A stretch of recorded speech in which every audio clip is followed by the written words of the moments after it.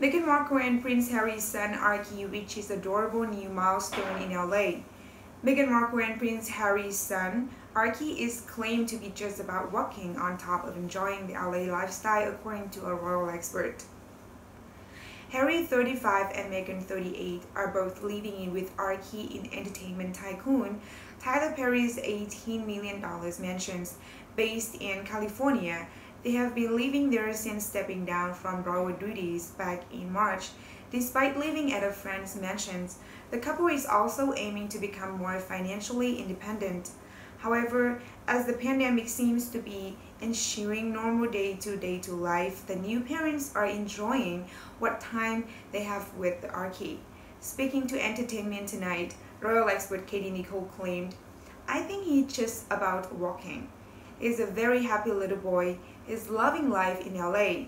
Katie Nichols went on to mention how much the couple are enjoying their newfound family life. They both feel very grateful for that time they've had at home with Archie, watching him achieve all of those milestones.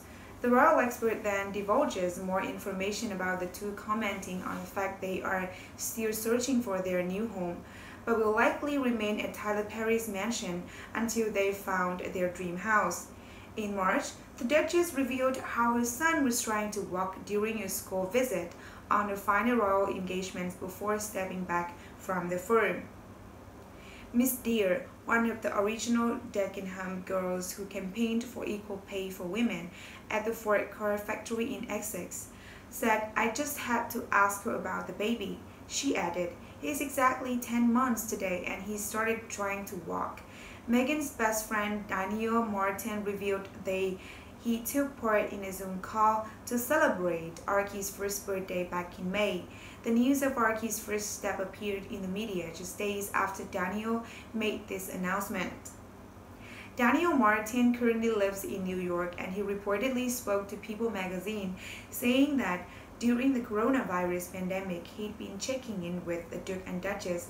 The makeup artist who has been close friends with Meghan for over a decade after meeting on Suits explained, we did a birthday Zoom for Archie. That was fun. Since we haven't been seeing each other, everyone has been making a conscious effort to check in. So it's nice. The Duchess and Daniel's friendship is evident from all the key moments he joined her in, especially during her royal life.